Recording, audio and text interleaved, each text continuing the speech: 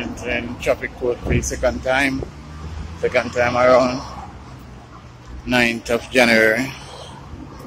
Uh, the trial date set for Brother Awas approaching the courthouse and thing. So I'm in the traffic court. I'm with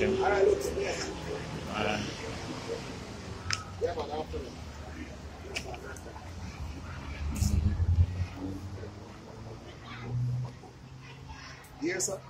No, man. mhm. No, man, that's what I go on here, sir. You sure, yes, sir? Brother, Yeah. brother, I don't want to